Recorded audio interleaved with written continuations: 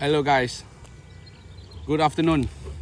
Dan selamat sejahtera. Assalamualaikum semua. Hari ini aku nak tunjuk kat korang kat kita semua bukan nak tunjuk atau nak share dah info. Mungkin tak semua orang tahu tentang teknologi fiber optik. So ini share dah info untuk semua sama ada untuk pengetahuan am ataupun untuk apa orang cakap untuk kerja membantu peluang-peluang kerja ataupun membantu kerja-kerja harian kamu yang terlibat dengan fiber.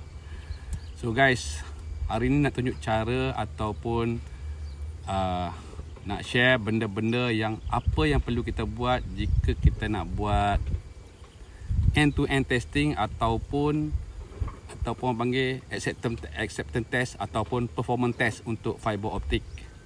So kita nak tunjuk apa dia alat-alat yang digunakan, tool, test gear ataupun cara proses yang digunakan atau yang dibuat untuk kita buat nak tahu performance kabel tu okey tak okey atau di bawah dalam kita panggil dalam spek fiber optik yang ditetapkan oleh sesuatu operator ataupun klien yang guna benda tu.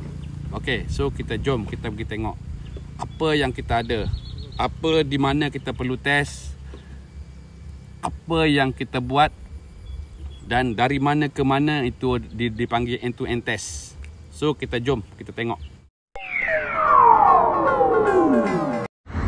Firstly we bring down the closure from the overhead pole this is a type of cable of area cable. We have two type area or underground cable so this is the closure. We bring down and open up the closure. Inside the closure we have the tray for the core jointed. Before we start the test we must calibrate the power meter optical power meter with a light source. Normally we de we calibrate with a three time test uh, calibration with the transmit power of the 5 dBms normally uh, it's depend the specs and uh, we use the wavelength of 1550 nanometer. And then this is the power meter and light source. In order to get the deviation value we must calibrate for three times.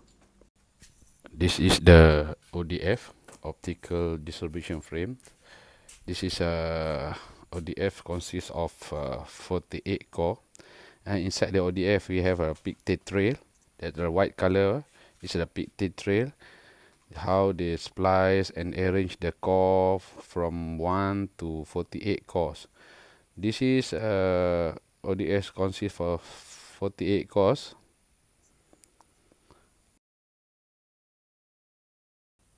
now we start uh, testings the fiber optic using the OTDR this is the OTDR. Uh, uh, this is how we measure the distance and detect the loss of the cable. The distance of OTDR we can detect from here. You can see the graph. So we can test every core. So we shoot the OTDR from the ODF until the end of the cable for every core every single core we shoot we test. And we get the result for the distance and the total loss. Here also we can get the average loss of the splicings loss uh, and then uh, total loss of the total cable distance. So we test one by one. Every core we test until finish this is our tester. Using the small fan because it's hot under the sun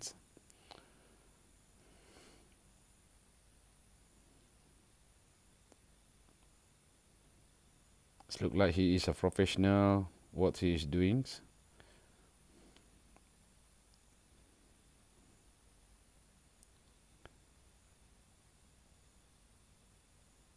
So we wait for the result at the end.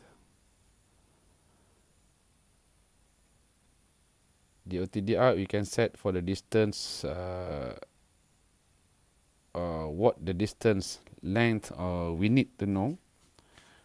We can set. For this uh, distance for this cable we only test for 70 meter only distance so this the graph show when we get the result.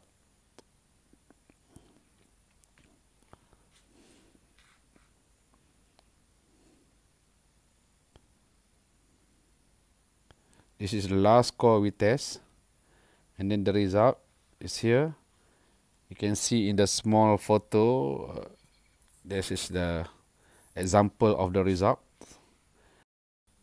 uh, this is the splashing machine where we join the pigtail with the end of the core cables we, uh, we put the light source power meter here and then we will measure for the power meter as we calibrate earlier today. We will test and splice one by one. We start splicing the optical light source uh,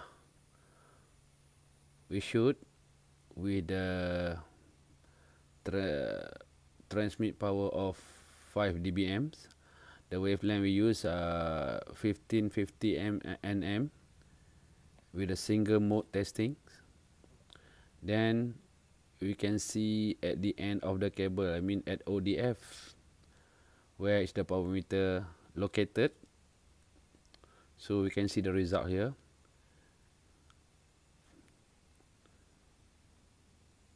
So this is how we test. And then we get the reading of the power meter in here. So we test for each core until 48 core